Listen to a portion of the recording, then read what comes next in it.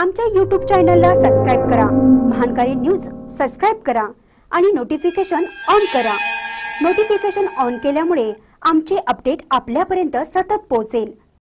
घरात दहा वर्ष सत्ता पण पंचगंगेचं प्रदूषण दिसले नाही का? स्वाभिमानीचे बंडू पाटील यांचा धैर्यशील मानेंना खडा सवाल. खासदार राजू शेट्टी यांच्या दारात उपोषण करण्यापेक्षा प्रदूषण मंडळ प्रांत कार्यालय जिल्हाधिकारी कार्यालय आहेत. त्यांच्यासमोर उपोषण करून आंदोलन करावे.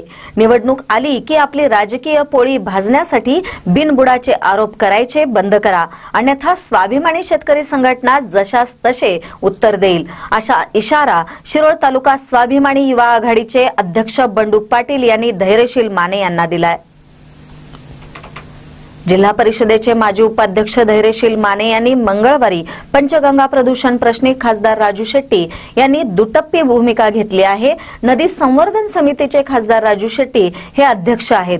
गेली नऊ वर्ष या प्रश्नी त्यांनी शासन स्तरावर कोणतीच पावले उचलली नाहीत. त्यांना नदीचे प्रदूषण दिसत नाही का?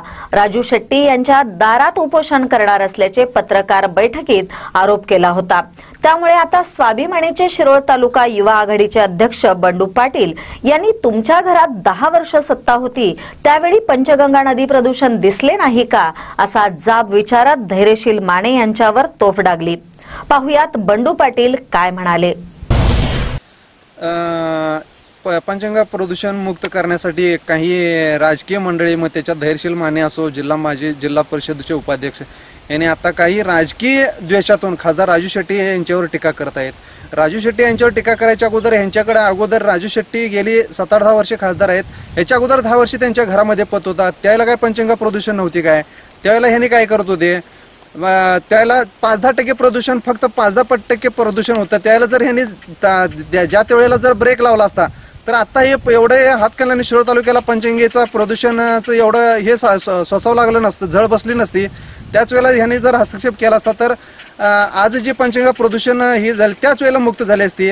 आम्ही आता खासदार राजू शेट्टी यांच्या मार्गदर्शनाखाली गेली सतरा दहा वर्षापासून आम्ही आंदोलन करतोय. मी असो असं विश्वास बालिकाटे असू दे इंगळीचांचा संदीप गुदले असू दे या आम्ही शेतकरी स्वाभिमानी शेतकरी संघटनेच्या झेंड्याखाली आजपर्यंत आंदोलन करत आलेलो आहोत.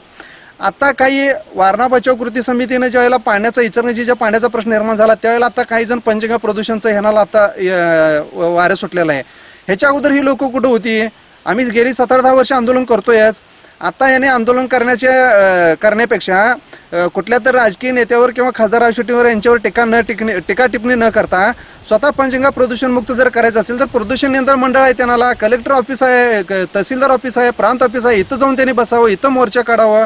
जे जे प्रदूषण करणारे घटक आहेत त्यांच्यावर कारवाई करण्यासाठी उपोषण करावं त्यांच्यावर मोर्चा काढावा हे काय हे असले आंदोलन किंवा असले हे न करता कुठल्या तर राजकीय एका व्यक्तीवर खासदार राजू शेट्टी यांच्यावर जर टीका टिप्पणी केली तर हे प्रदूषणमुक्त पंचगंगा प्रदूषणमुक्त कधीच होणार नाही. आणि राजू शेट्टी यांच्यावर परत आप- आपण जर तसा आरोप करा कराला तर आम्ही जशाच तशी उत्तर दिल्याशिवाय आम्ही बी शांत बसणार नाही.